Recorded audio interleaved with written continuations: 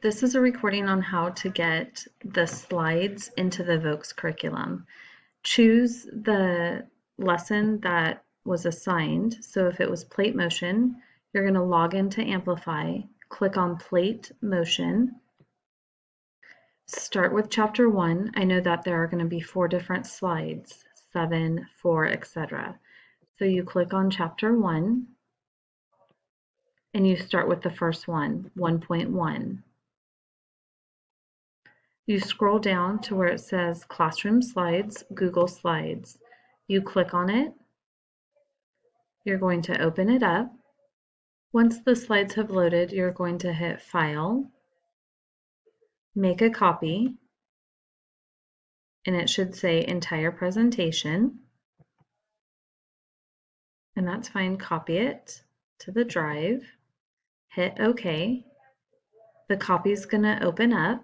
Once the slides have loaded, you're going to hit share.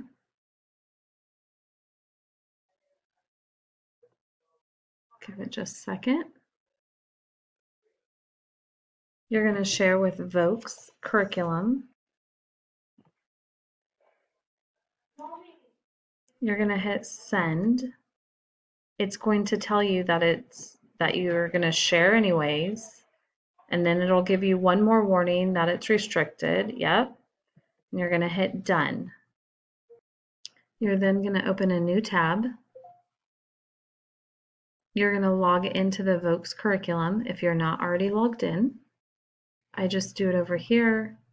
I scroll down. It's one of my first ones. It might not be your first one. You might have to do a little scrolling or log into the first time. If you need help with that, let me know. You're going to go to the waffle and you're going to go to the drive.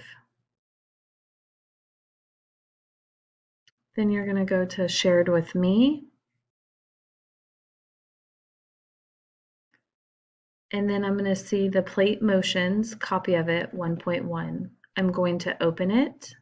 Once it's you're going to actually make a copy of this copy so that the VOCS curriculum fully owns it and there's no ties to the G Suite. So we're going to make a copy of it, and this is how I know it's the final draft. I'm going to edit the title, if I can, and I'm going to take off the copy of copy. I'm going to have the title just the lesson, so I know now that's that's my routine for all the final copies. And I'm going to save it in the My Drive under the Amplify. So My Drive, I'm in seventh grade Amplify, so I'm going to pick Amplify, seventh grade and I'm now going to save this. You can't see it, but I'm going to hit select and then I hit OK. Last but not least, so now it is saved, it is good to go. I now need to make it accessible for everybody to see. So my very last step is just to hit that share button in the top right hand corner and unlock it. I'll show you right now as soon as it pops up. So this share button, anytime you have a document on a Google site that's locked or needs access, it's just because you need to go right here and unlock it. I'll show you share.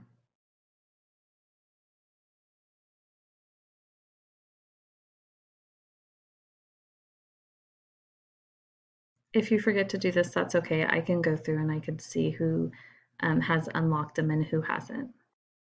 I need to click change to anyone with a link and then done. And you are all done. All the final drafts are saved in the Amplify um, folder on my drive. All the other copies will be saved on the share and I, I'll go through and delete those. Thanks.